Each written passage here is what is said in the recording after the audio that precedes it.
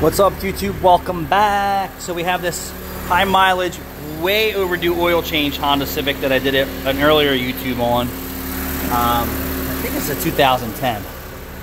Anywho, they uh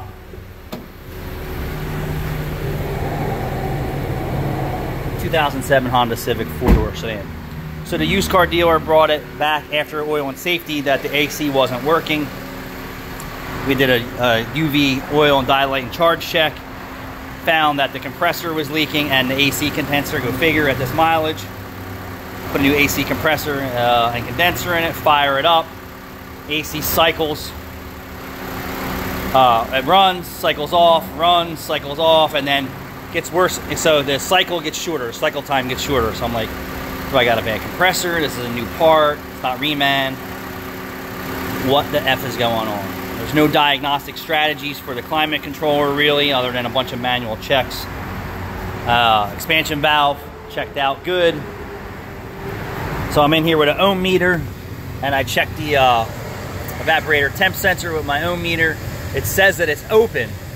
There's no specified value in ALLDATA tell me what it's supposed to be. So, of course, it took a week for us to get an evaporator temp sensor. So right here next to your glove, uh, behind your glove box, there's a plug here that looks just like that.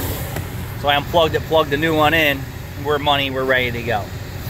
Do you absolutely need this thing touching the evaporator? No.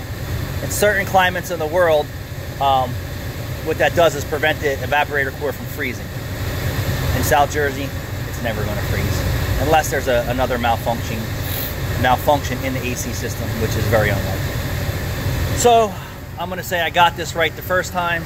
Woo! But you had to get it up and running.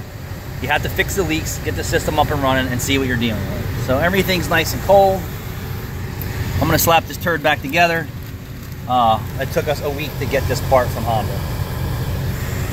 But the conditions were, you start the car up, compressor would come on, fans would come on, it would run for 30 seconds, shut right off, come back on, cycle like it was low on charge, um, when I know it wasn't low on charge.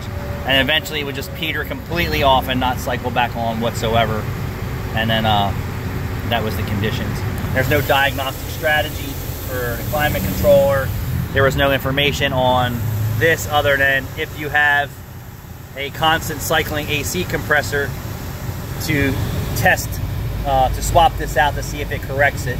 But a cycling AC compressor situation could be a weak relay, could be a weak clutch, could be low refrigerant. Um, so there you have it. Thanks for watching.